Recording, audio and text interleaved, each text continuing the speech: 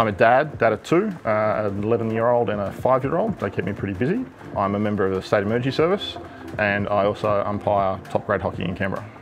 37 years old, I'm a type 1 diabetic. I have a history of uh, injuring myself. I've done ruptured my ACL, which required a hamstring repair. I also tore my Achilles at the muscle juncture, so that was just a recovery process. In that recovery, I also ruptured the fat pad in my heel and got a DVT. I went from playing hockey to not playing hockey with the ACL, and then when I was recovering the ACL, I tore the Achilles, so again, it limited me what I could do.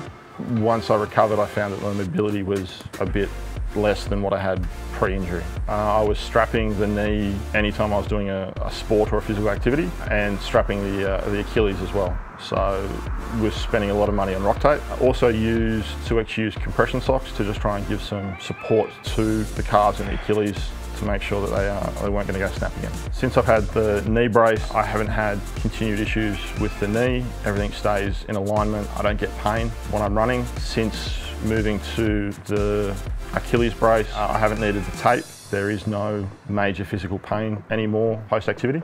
It's 100% different to what it was. The fit is fantastic. Uh, I have larger legs, so I'm on the very extreme of the fitting guide, and it fits and it stays and it works perfectly.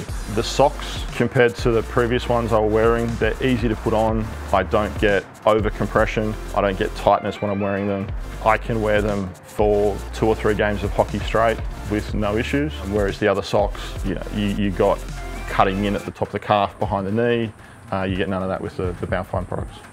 I've, I've had a number of knee braces in my time. Cost wise, they're on par with what I've used, but the product you get is far superior. When I got the knee brace, it was probably a third of the way into the hockey season. Since then, I've done probably close to 100 odd games, plus wearing it every week at the gym, plus wearing it for other sporting activities, and it still fits, still is in good nick.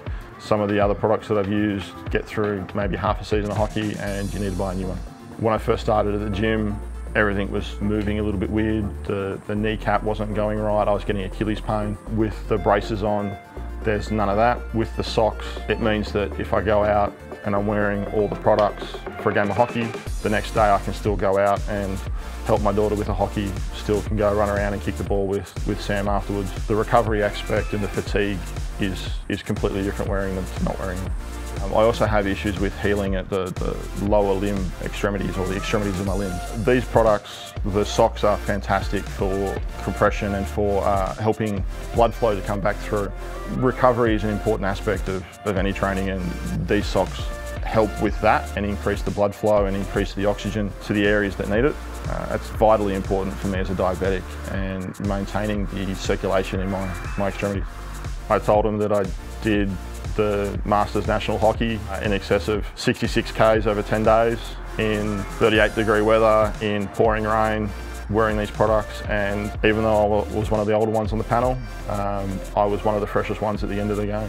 They're like all products, you, you, get the spiel of how good they are, what they can do, what they can't do. Tried them at the gym for a little bit, then bought one and uh, the reality is that they are as good as they say they are. There is no spiel, it is what you get told is what you get.